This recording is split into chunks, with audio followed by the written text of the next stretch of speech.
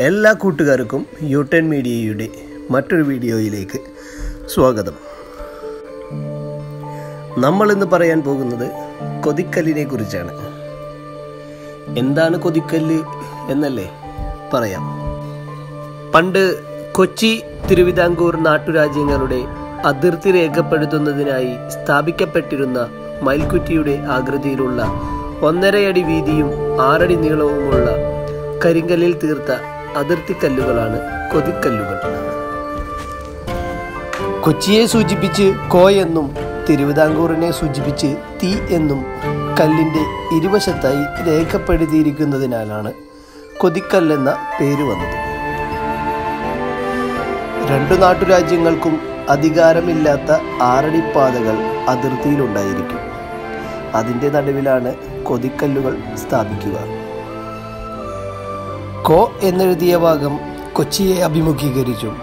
തീ എന്നെഴുതിയ ഭാഗം തിരുവിതാംകൂറിനെ അഭിമുഖീകരിച്ചുമാണ് കല്ലുകൾ സ്ഥാപിക്കുക. കൊച്ചിയുടെ ഭാഗമായ പുല്ലൂറ്റിനെ അതിർത്തി നിർണയിക്കുന്നതിനും കൊതിക്കല്ല് സ്ഥാപിച്ചിരുന്നു.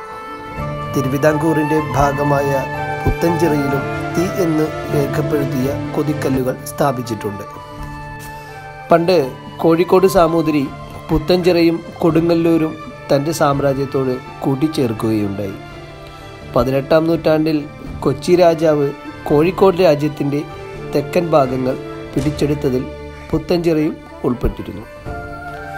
തിരുവിതാംകൂർ രാജാവിന്റെ സഹായത്താൽ കൊച്ചി രാജാവ് കോഴിക്കോട് സാമൂതിരിയുടെ ആക്രമണത്തെ ആയിരത്തി എഴുന്നൂറ്റി അറുപത്തൊന്നിൽ എതിർത്തു തോൽപ്പിച്ചിരുന്നു.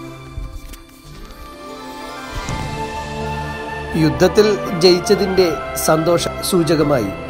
കൊച്ചി രാജാവ് തിരുവിതാംകൂർ പട്ടാള കമാൻഡറായിരുന്ന ദിവാൻ അയ്യപ്പൻ മാർത്താണ്ഡ പിള്ളയ്ക്ക് പുത്തഞ്ചിറ ഗ്രാമത്തെ സമ്മാനിച്ചു.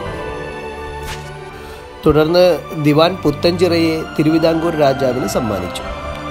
ആയിരത്തി തൊള്ളായിരത്തി നാൽപ്പത്തി ഒമ്പതിൽ കൊച്ചി തിരുവിതാംകൂർ ലയനം നടക്കുന്നതുവരെ കൊച്ചി രാജ്യത്തിനുള്ളിലെ പുത്തഞ്ചിറ തിരുവിതാംകൂർ രാജ്യത്തിന്റെതായിരുന്നു കൊതിക്കല്ലിനെ കുറിച്ചുള്ള ഈ വീഡിയോ ഇവിടെ അവസാനിക്കുന്നു. മറ്റൊരു വീഡിയോയുമായി ഞങ്ങൾ വരുന്നതുവരെ നന്ദി നമസ്കാരം.